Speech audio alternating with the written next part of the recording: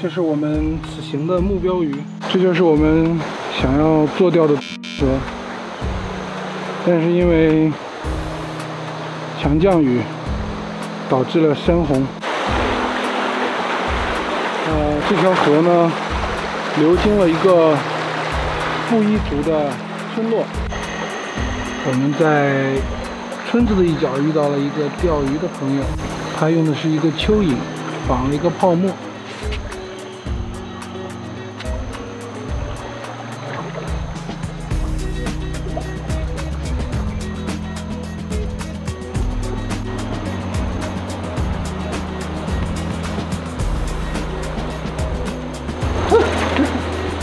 掉下去了，飞鱼线上。啊！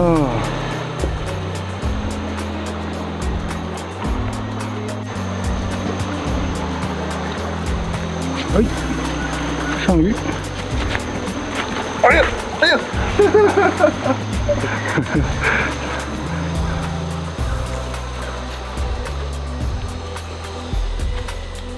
可 以看一下它的鱼获。这也是我们此行的目标鱼。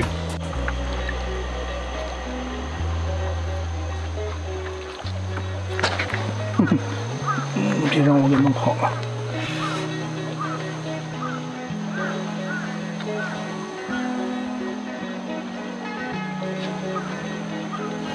它这个跟我们平时看到的白条有很大的区别，比如说它的嘴巴，它的这个嘴也比较大。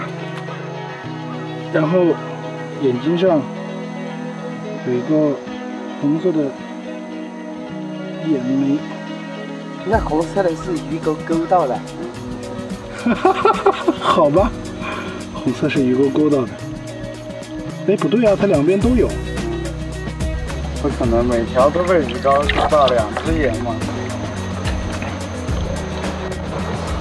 走，回去拿杆子去。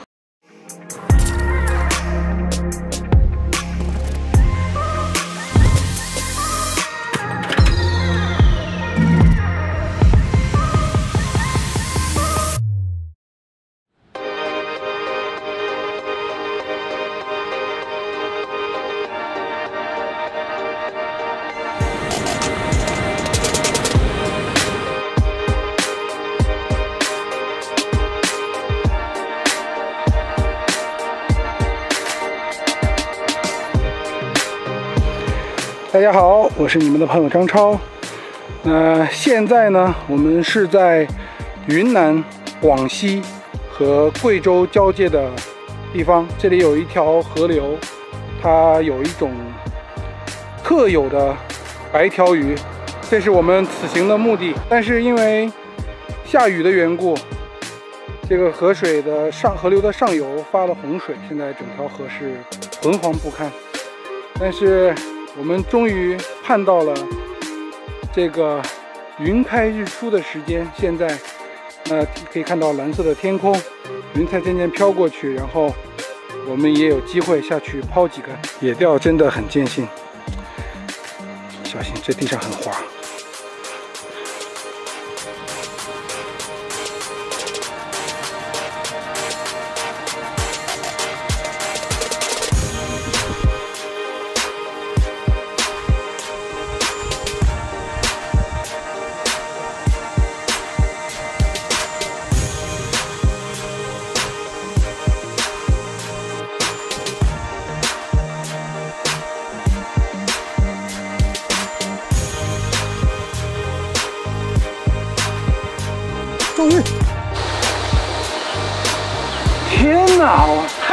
不可思议了！哇，好漂亮的鱼！你看它的侧线，特别的有特点。它不是一整根，不是一根到底的，它到这儿有个分叉，黄色的背。对，这可能跟现在的水有关系。我可能是第一个用路亚钓到这样白条的人。这个是在云南、贵州跟广西交界的一个地方。呃，处于昆明的东北部，然后这是一个特有种的白条，虽然是白条，看似普通，但是只有在这里才有。然后它的嘴型、它的侧线跟普通的白条有很大的区别。那我们也是为此而来。这次来其实真的是历经艰辛。我们从昨天从宜良出发，原本一个多小时的山路，我们开了五个多小时，下雨，然后团雾，然后山路，啊，虽然路上没有什么车，但是也没有灯，开的真的很辛苦。晚上十二点多到这里以后，真的是直接倒在床上就睡了。然后早上起来的时候，这也在下比较大的雨，然后现在突然天晴了，然后我们也抱着不死心的态度吧，来到。这条河流，呃，抛两杆，然后在这个地方我找到了一个相对两条河流相汇的地方，然后这边有一条水相稍微比这边的清一点，然后在这个位置，然后用小亮片钓获了第一条特有种白条，哇！其实玩野钓、玩野水就是这样，我们会钓到不同种类的鱼，那这种鱼我只有在听朋友讲起过。并没有真正的见到过它。前面因为下雨，我们把所有东西都都快要放弃的感觉。终于，呜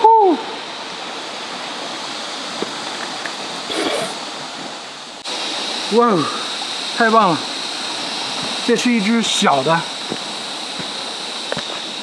我们现在钓到的这条白条，跟刚才的还不一样。这是一条长尾白条，它身上没有斑，侧线跟刚才的也不一样。让我先把它放下去，因为白条是比较容易死的。终于，嗯，长尾白条的分布相对来说就比较广泛，比我们钓上的第一个特有种的白条来说的话，它的种群数量就会更大。终于，啊，破钩，连杆了，啊。喂，连着两口都很凶啊，拽杆子都没有勾到它。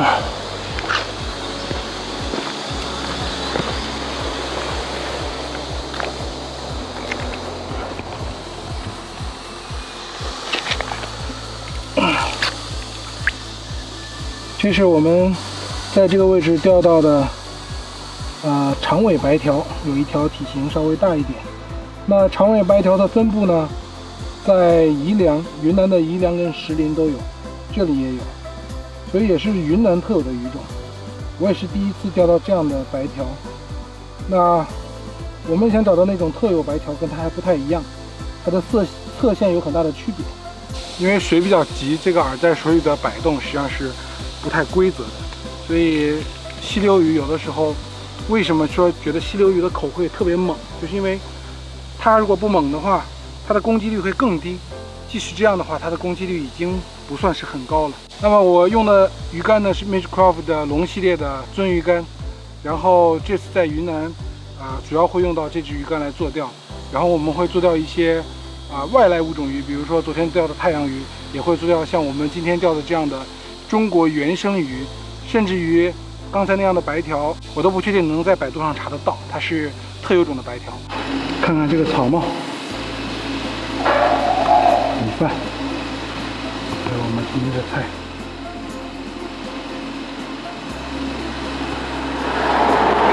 云南也是很能吃辣椒的。现在是下午的一点多，我们吃完饭继续干活。现在为大家演示一下吸水烟筒。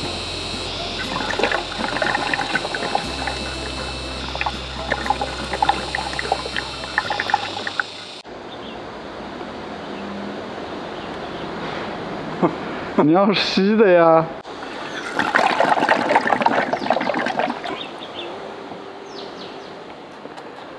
嗯，还是电子烟比较好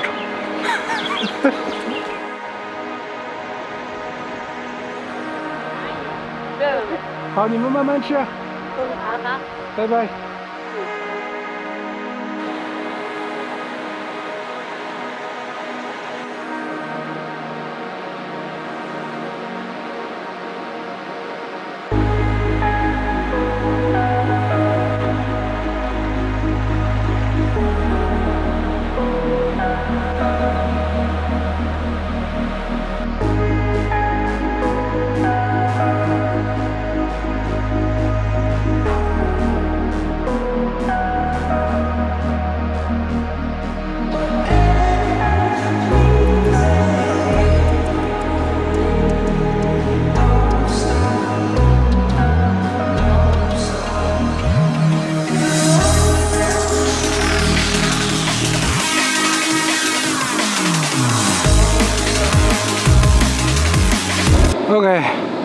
我们现在沿着呃这条河流向下游走了大概五到八公里的样子，然后现在来到了一处很大的浅滩，可以看到很大的一个浅滩。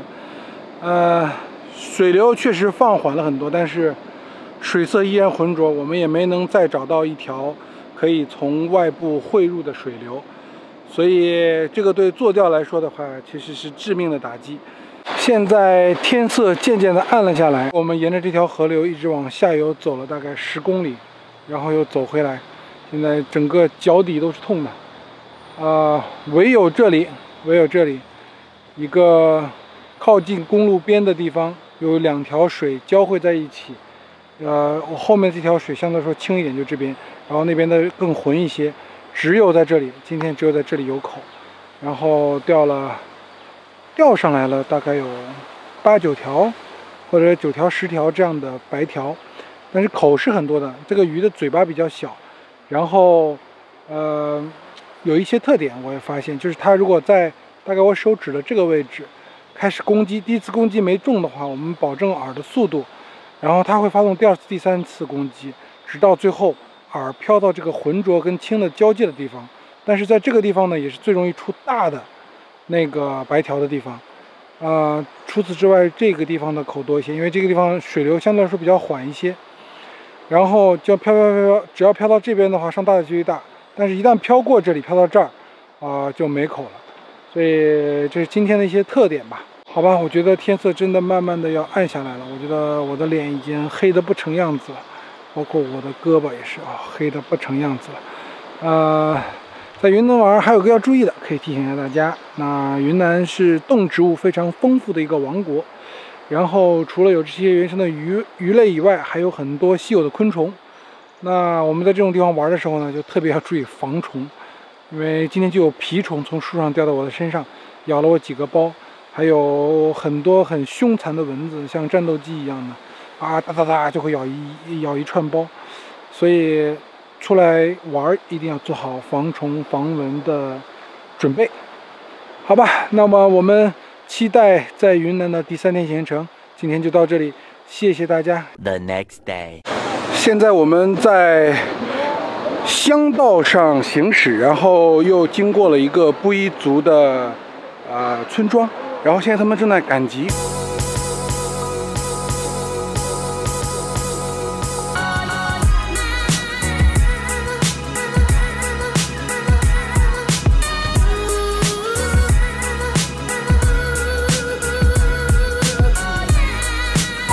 本来想看看有没有卖他们在当地捕捞上来的鱼的，结果也可能是因为洪水的原因吧，然后整个集市上是没有卖鱼的。那么我们继续赶路。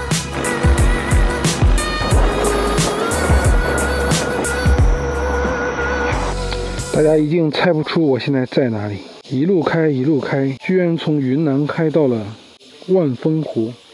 当然，万峰湖也是在云南跟贵州的交界的地方。连日的大雨导致附近的山里面的水，还有小溪里涨的洪水，都汇到了万峰湖里。当然，这只是万峰湖的一角。啊，这里水位上涨的也比较厉害，然后水色特别的浑。不过看它下地龙，好像收获还挺多的。水有多黄，顺着光看就能看出来。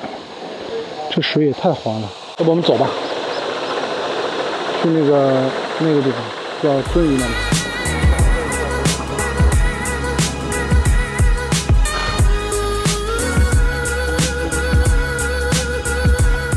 出太阳了，山顶上还云雾缭绕的，这个吊绳感觉更像是自驾。动不动要开上几百公里的山路，真的开了一整天的车啊！从早上开到了现在。那我们来到了一个山体型的小水库，可以看到后面这个山体型水库呢叫三月山水库。我们今天来到了这里，是为了钓红鳟鱼。大家应该可以清楚的看到，我们这个大坝是在下风口，风吹过来的这个水啊是褐色的。OK，太遗憾了。快速游览了一下这个水库，然后有几个现象：一来呢，水库在暴藻，抱的是褐藻；然后其次呢，我们询问了当地的钓鱼人，当地钓鱼人说，啊，这个水库因为疏于管理，它里面的红鳟应该已经没有了。他们已经很久很久没有见到过这种鱼了，因为我们在来云南之前的计划，在这个水库是截止的，这是我们。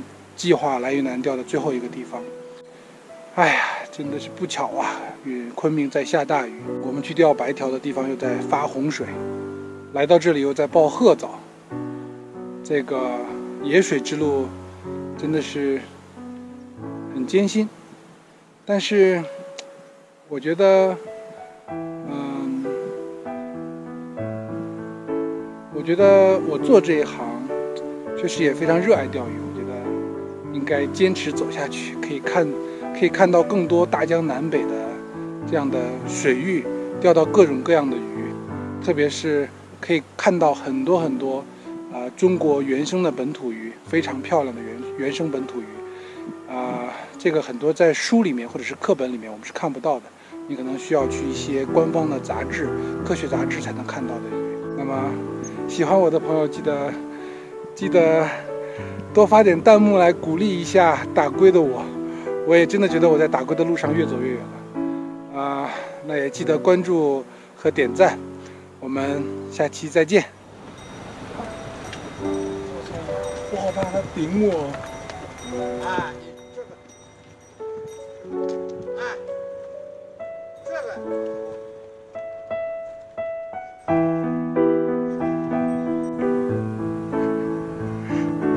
哇塞！